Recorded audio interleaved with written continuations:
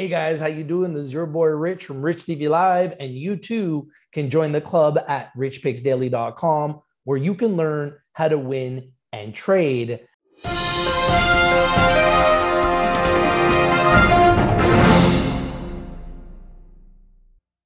Hi, how's everybody doing today? I'm your host, Rich, here on behalf of Rich TV Live with our very special guest, the CEO of WonderFi Technologies, Ben Samaroo. How you doing today, Ben? Hey, Rich, I'm doing great. How are you doing?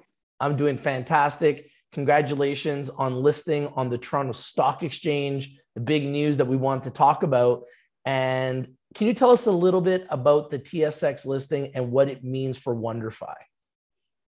Sure. So it really is a big milestone for for WonderFi. Uh, super excited for for for the team. There's a lot of work that uh, went in behind this to get the TSX listing the TSX it's the 11th largest uh, exchange in the world, and I think just has a level of cachet and and and access that um, is really unparalleled uh, in Canada. And for us, what we're really trying to do with WonderFi is to create this public vehicle for investors, uh, retail, institutional, uh, domestic, international, to be able to invest in crypto in a compliant way.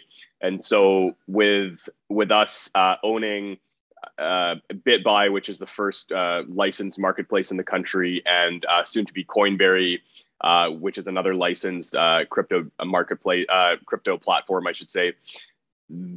Stepping up to the TSX really is something that creates a lot of investor confidence. Um, there's, you know, it, it's a senior board, just like the Neo, so it so we still have the same reporting requirements and corporate governance requirements. But in terms of access and uh, ability for for international investors to be able to access the stock, it definitely increases significantly on the TSX. And I think when we look at peer group uh, on the TSX for crypto companies, that is uh, very impressive as well. So we're now listed alongside leaders in the industry like Galaxy Digital, like Hut 8, uh, Bitfarms, and uh, and so we're really you know excited and, and proud to be listed alongside uh, those uh, those other leaders in the in the industry. Congratulations! That's a huge, huge, huge milestone. And there aren't many other crypto companies listed on the TSX. Why do you think that is? And will we see more coming now that WonderFi has achieved the listing? So uh, the TSX is is definitely very um, selective in terms of who they list. I think from a reputational standpoint, uh, being the largest exchange in Canada and the, the oldest, they have very stringent criteria in terms of who they allow to uh, to obtain a listing uh, on the TSX. So I think until now there hasn't been a company um, like WonderFi in the exchange space that was sort of suitable for um, for a listing, and so I think that um, you know that that sort of plays into to you know why we're the we're the first um, licensed Canadian uh, exchange list on the TSX. And I think in terms of other crypto companies, they've kept it very uh, deliberate in terms of uh, subsectors of crypto. So we have crypto miners, which is a business that people are very familiar with. Uh, you've got uh, you know, I mentioned 8 and Bitfarms and, and a few others that are listed on the TSX, and that's a very clear uh, subcategory. You have institutional plays, and that's really just Galaxy Digital that's on there. They were initially listed on the TSXV when they went public in 2018 and then graduated to the TSX uh, after that. And then now we're really carving out this new category of crypto trading platforms, which I think is really important to be able to tell that narrative because it's it's very different than um, the other the other se- sectors, particularly miners. I think um, investors who have exposure to miners are um, familiar with the pri- the you know the volatility of, of mining companies being really correlated to the volatility of Bitcoin, whereas with trading platforms, the volatility, uh, you know, really isn't as closely tied to uh, to the asset itself. It's you know, it's really the picks and shovels uh, business that we're you know that we're in. So I think carving that out and being able to get on um, uh, an exchange like the TSX that has the the level of profile that it does is going to help to um, educate and just you know show investors that there you know there is this uh, this other category and you know this is what it looks like. Now how should investors who are familiar with the TSX look at WonderFi versus other crypto companies on the TSX now that you guys are listed? Mm-hmm.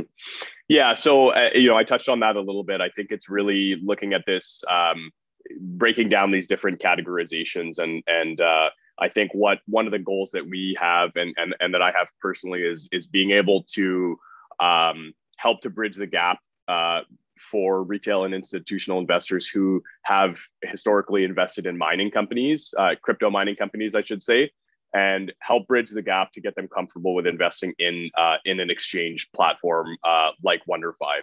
So it's a it's a big step. There's a lot of things that are keeping them out. Uh, regulation is is a big part of that, and so I think us bringing uh, multiple regulated brands under one umbrella is going to certainly help with that.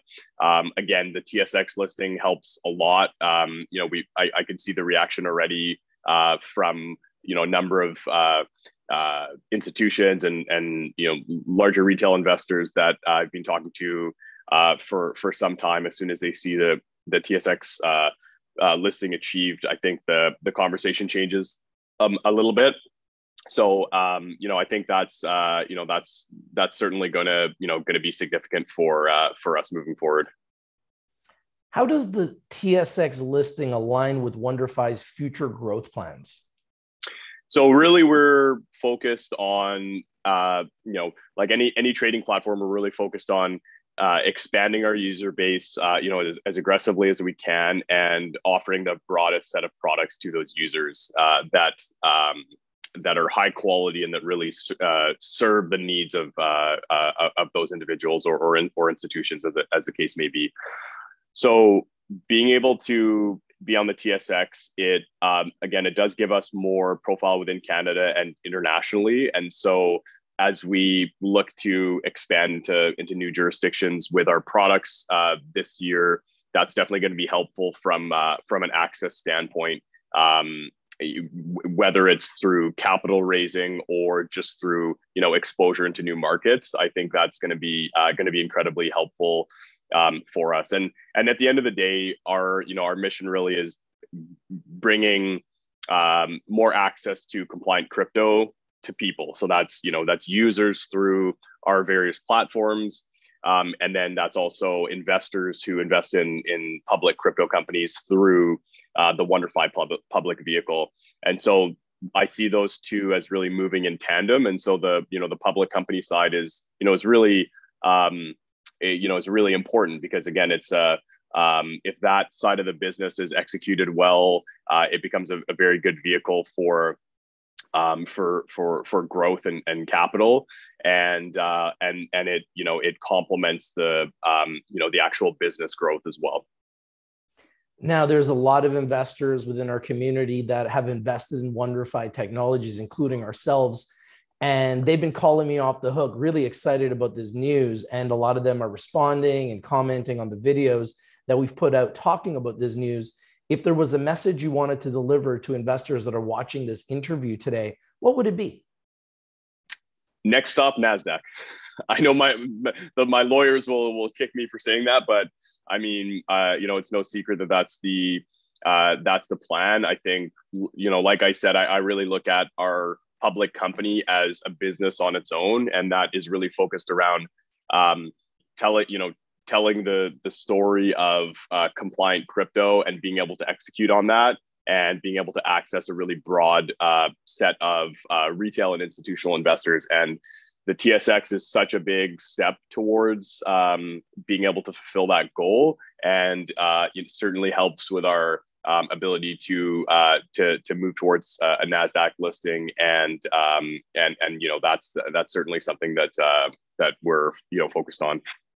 Wow, you guys heard it here first, directly from Ben Samaroo, the CEO of WonderFi Technologies. I want to bring everyone's attention to the symbols WNDR in Canada, now on the Toronto Stock Exchange, WONDF in America on the OTC markets, and hopefully in the future on the NASDAQ in America. I must remind everyone that Rich TV Live is strictly for information and education purposes. Please do your due diligence, do your research before you invest in anything we talk about or discuss here on Rich TV Live. In saying that, We're a big fan of Wonderfi Technologies. And thank you for joining us today, the CEO of Wonderfi Technologies, Ben Samaroo.